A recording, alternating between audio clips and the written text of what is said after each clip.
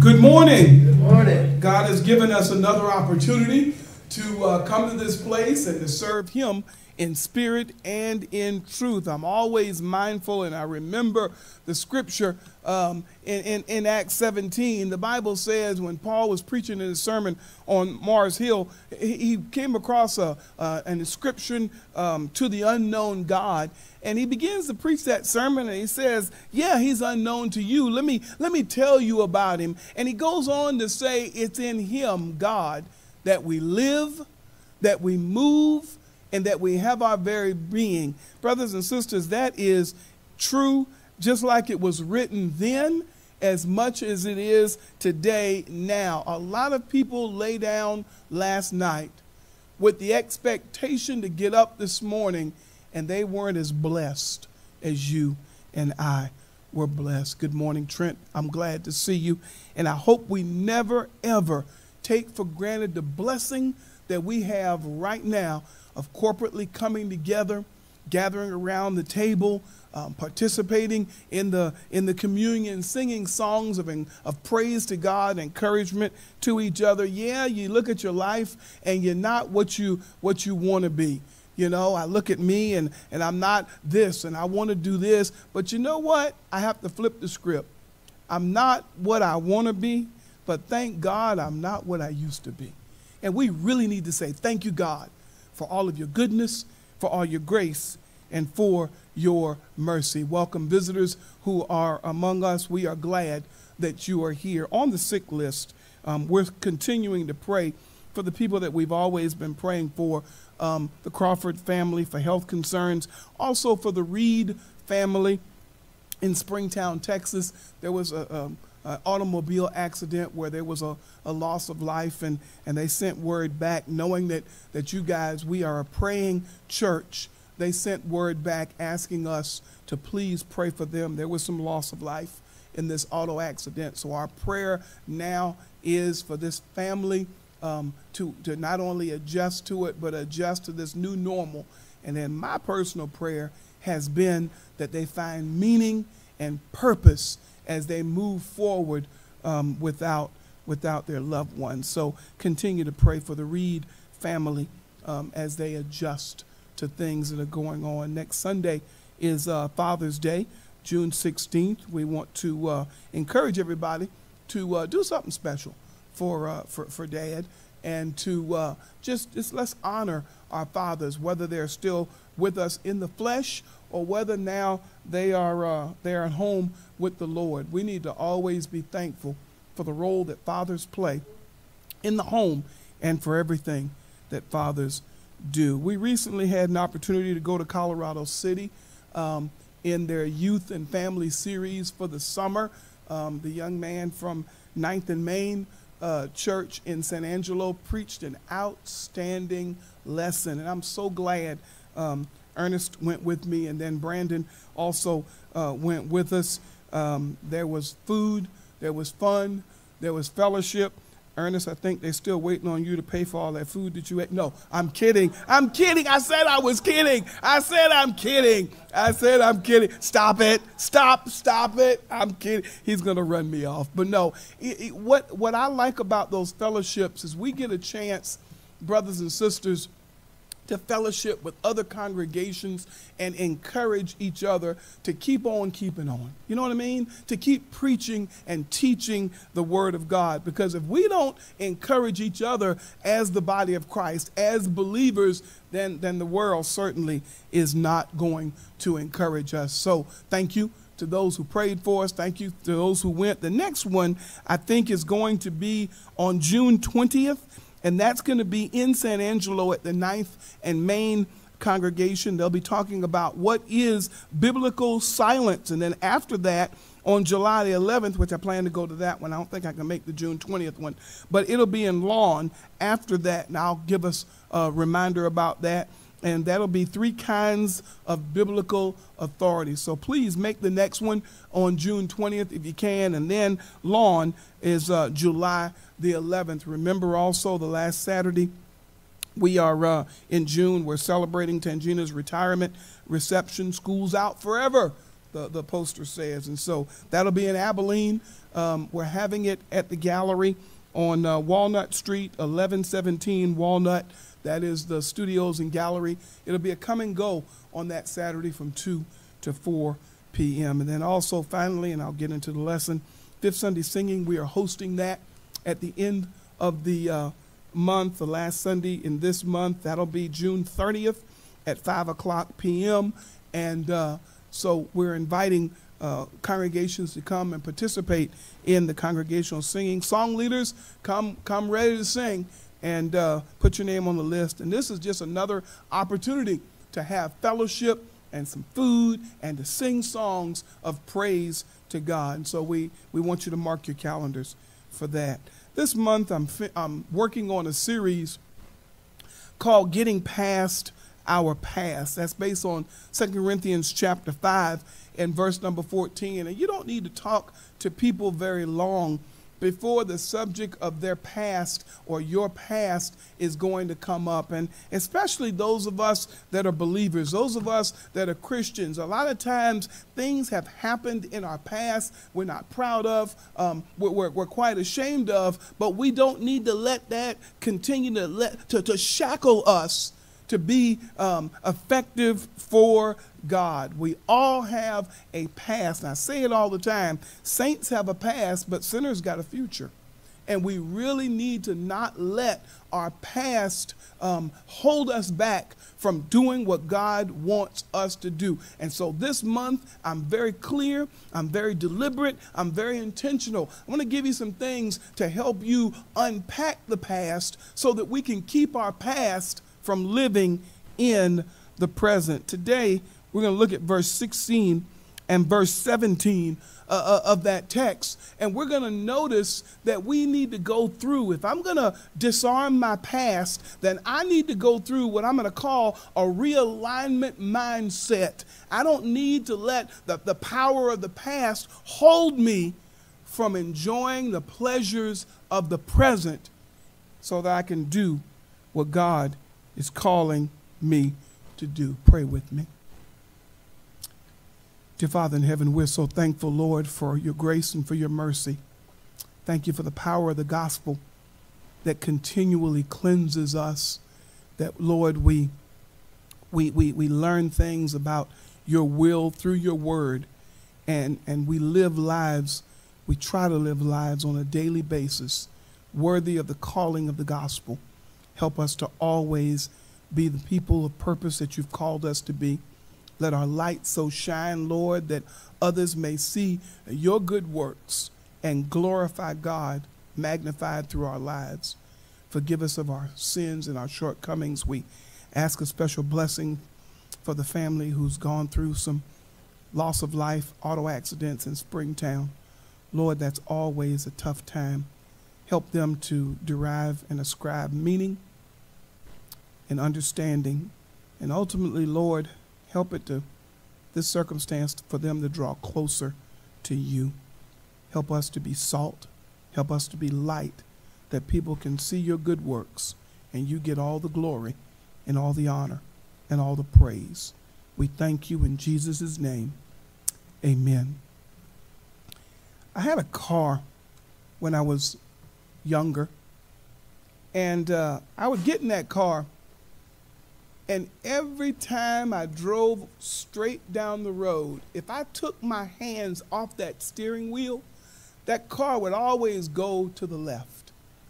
And it doesn't really matter how fast or how slow I was going. If I let my hands off that wheel, that car, despite all that's good and holy, wanted to always go to the left. I just thought that was normal.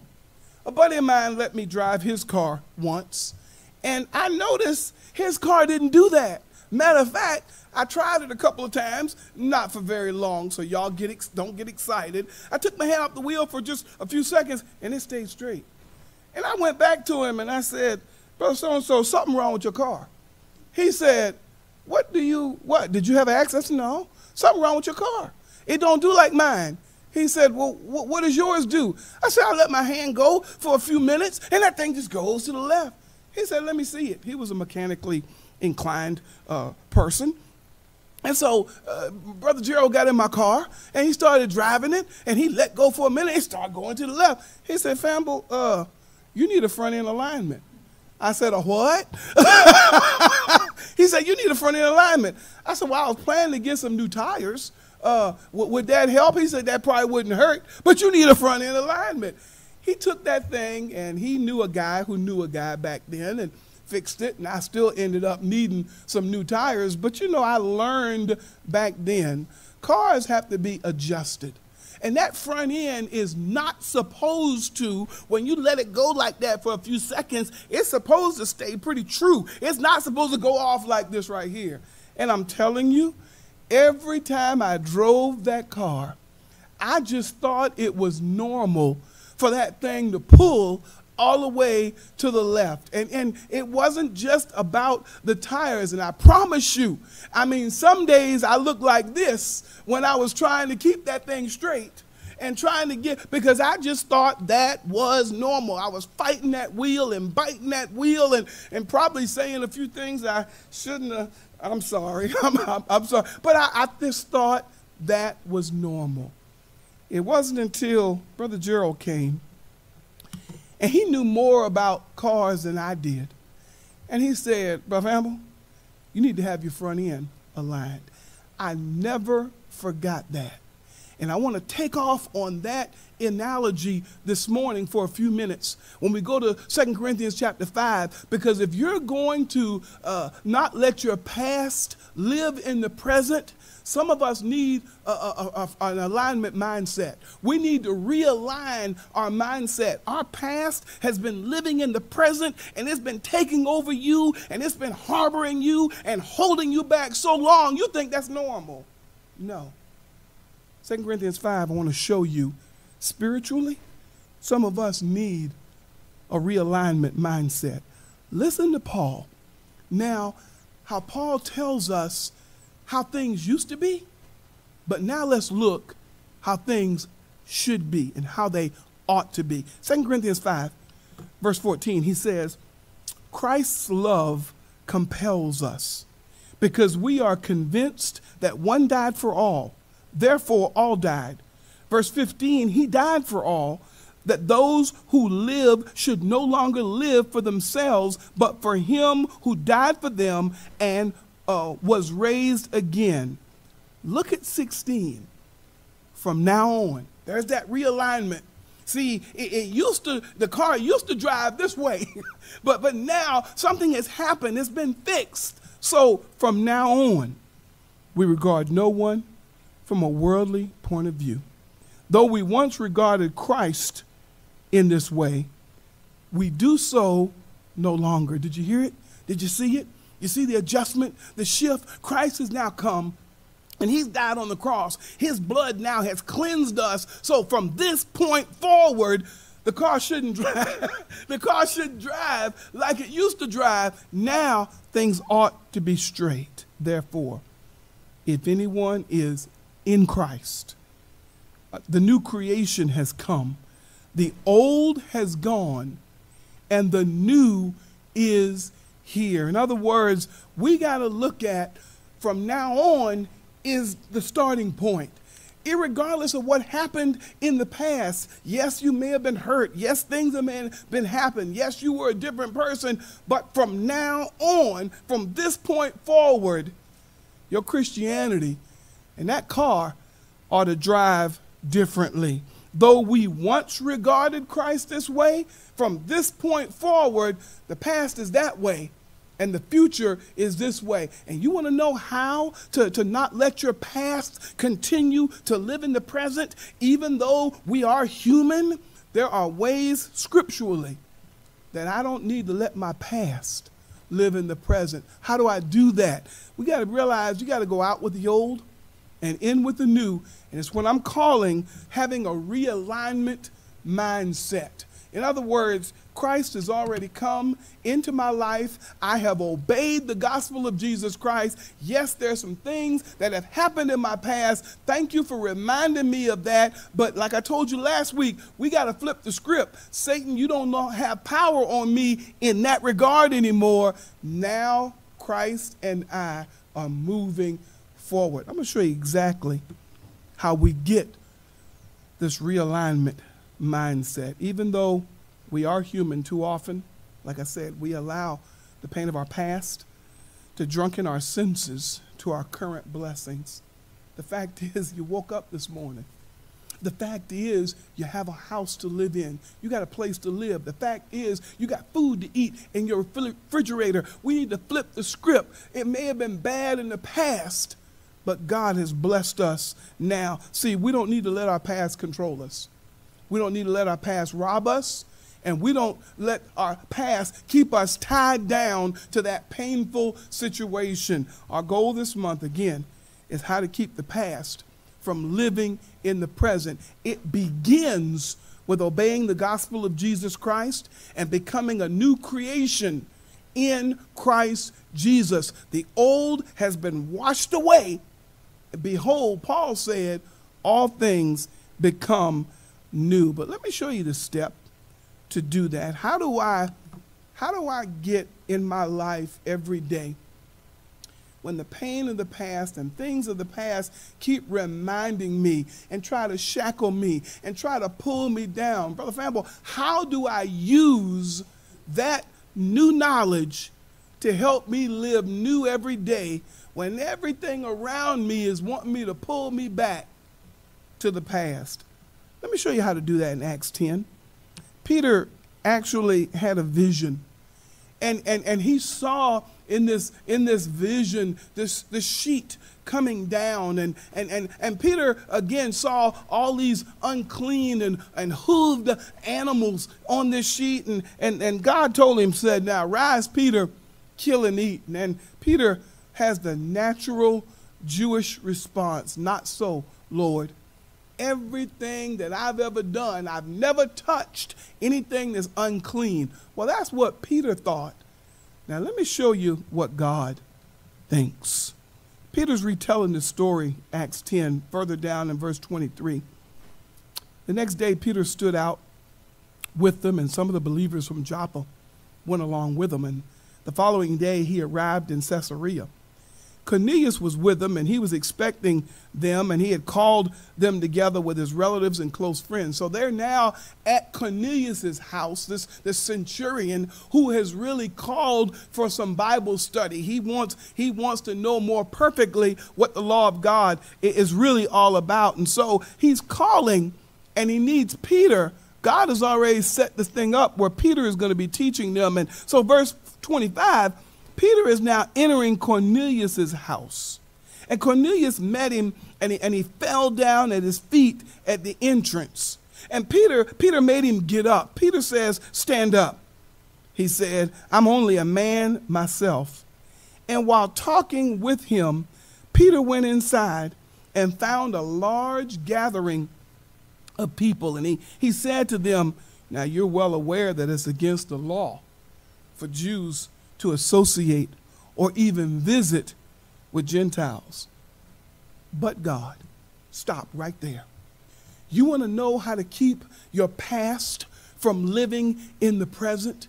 You want to know how, how, how God really can, can use the experience that you went through not to shackle you down, but to free you? Two words start the process. But God. Remember, I told you last week we need to, and I gave you some boxes to, to pack up. I'm going to give you one again today. Last week in the box, you remember I told you, flip the script. Look how, look at how you're seeing this thing and flip it. Instead of looking at it in a negative context, flip that and give God all his props and God all of his due. Yes, it was bad, but God brought you through it. See, we, we tend to always, we tend to always want to see how bad it is. And I'm saying if you really want to disarm the past, flip the script. Yes, it was bad, but give glory to God. He brought me through it. Look at what Peter said. Peter said, But God has shown me that I should not call anyone impure or unclean.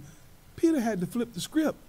He had to flip the script and go against the cultural grain and really start looking at what God wants me to do. Listen, step one on how to get past your past, you got to give God his props and give God his credit and give God his due. If God brought you to it, thank God he brought you through it. And a lot of us want to talk about the pain of the past and, and how things happened. And, but family, they did me dirty, and you don't understand the dirt they put on me. And they get mad at me when I come and say, quit talking about the dirt, because God's using that dirt to grow you. And see, people always want, yeah, but it, I understand that. But flip the script. God brought you through it. Now let's look forward to see what God wants you to learn as a result of that. But God has shown me that I should not call anyone impure or unclean. So when I was sent for, I came without raising any objection. May I ask now why you sent for me? See, Peter wasn't any longer concerned about culture. God had gotten Peter to accept the fact that it's all about change. And see, that's that's the secret.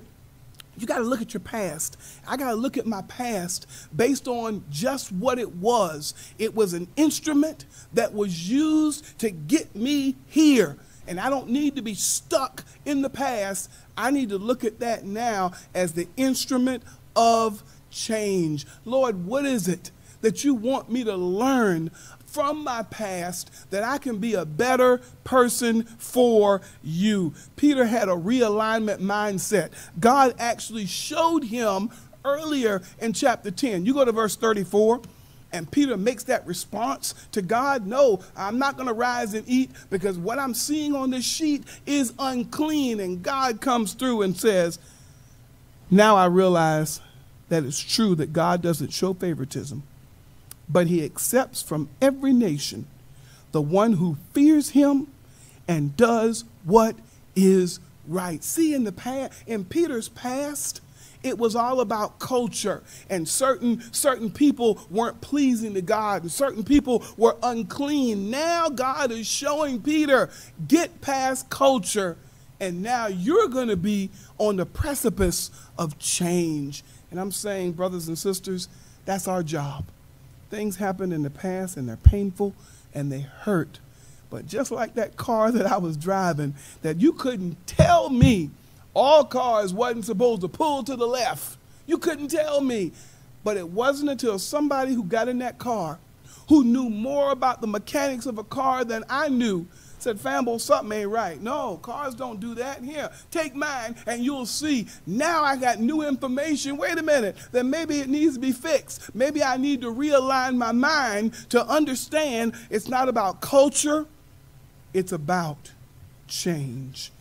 So, how did Peter learn this? In Acts 10, and I love this. In Acts 10, this is again that story I've been telling you he became very hungry and he wanted something to eat. Um, Acts 10 10. Uh, he, while the meal was prepared, he fell into a trance. And he saw the heavens opened up, something like a, a large sheet being let down by its four corners. And it, it contained all kinds of four footed animals, and reptiles, and birds. And then the voice said to him, um, King James there says, Rise, Peter, kill and eat. This translation says, Get up, Peter, kill and eat. And he said, verse 14, Surely not, Lord. Peter replied, I have never eaten anything impure or unclean. And here's where the, the, the, the, shift, the paradigm shift starts to happen. And here's where I think our paradigm shift needs to happen. The voice spoke to him a second time Do not call anything impure that God has made clean. God is the source of our change.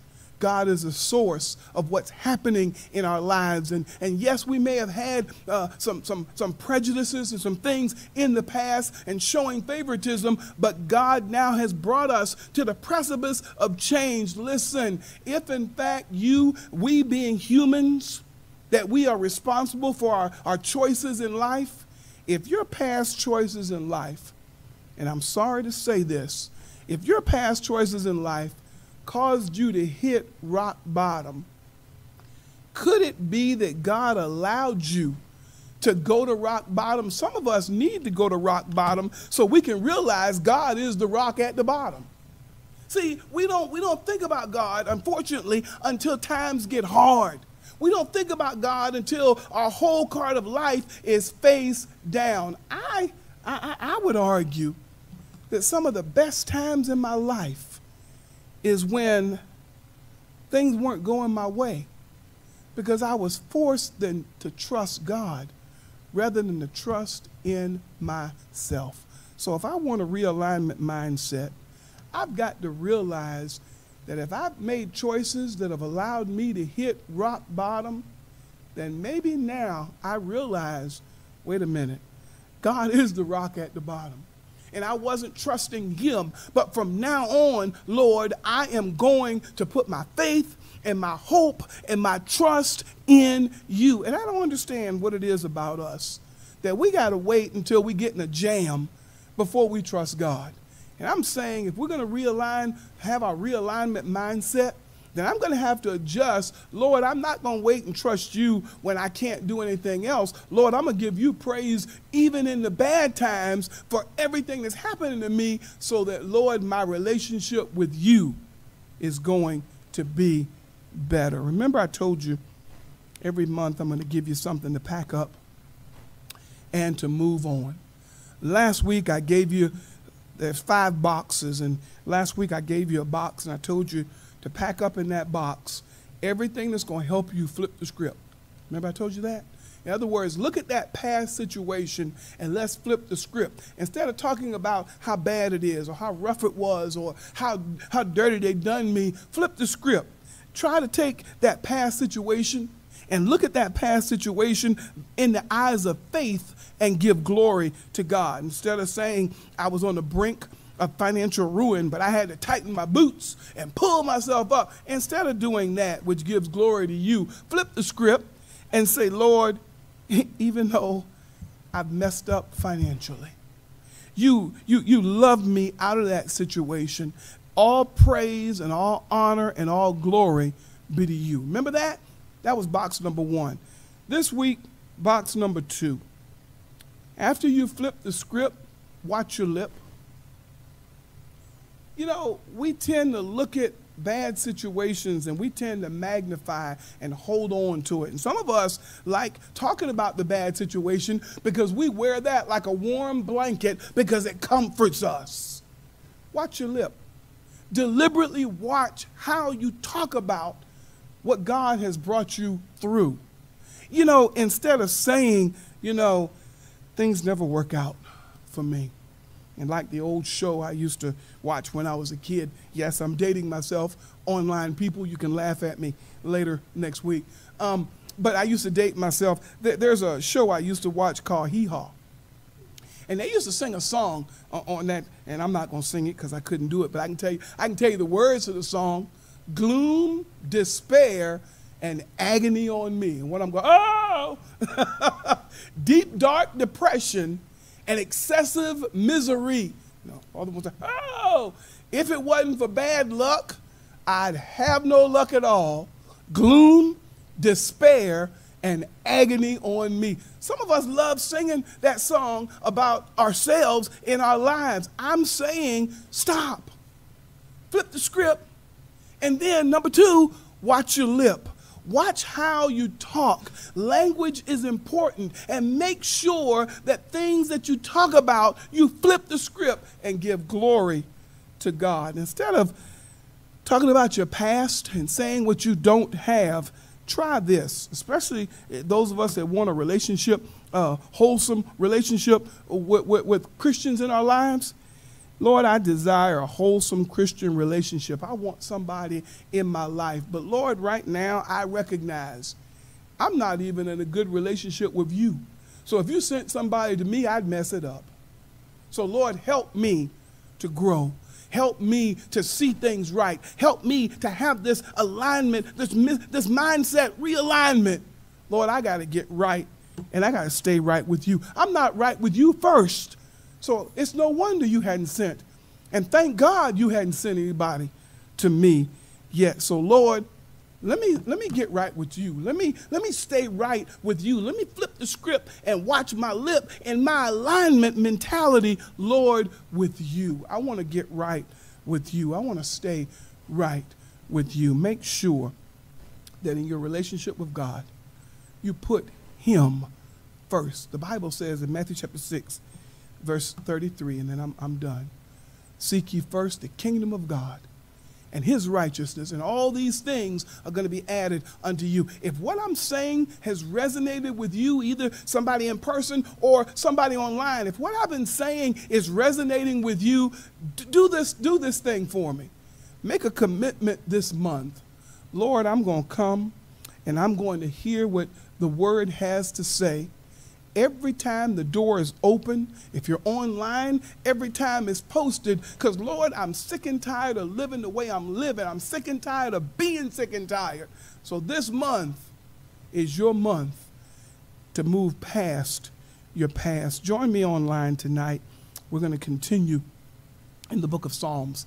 We'll continue looking at uh, a stroll through Psalms and making sure that, that some of the Psalms that, that we read provide us encouragement. Some of the songs, Psalms that we, we look at, Lord, provide us uh, a way to have a closer relationship with you. Because at the end of the day, we all want to be closer to God and ultimately one day make heaven our home. The invitation time is a time of self reflection. It's a time of self examination. It's a time for me to look at my relationship with God and be honest with Him. Lord, I'm not right with you, and I'm, I'm tired of, of being sick and tired. And if you have a prayer need that will help you in your walk get closer to Him, in just a minute when we stand and sing the invitation song, you have an opportunity to come forward and to make that prayer request known. Maybe you have a Bible question, you know, something that's been nagging at me. I need the understanding. You want to ask a Bible question, we will try all we can to get you a Bible answer for your Bible question.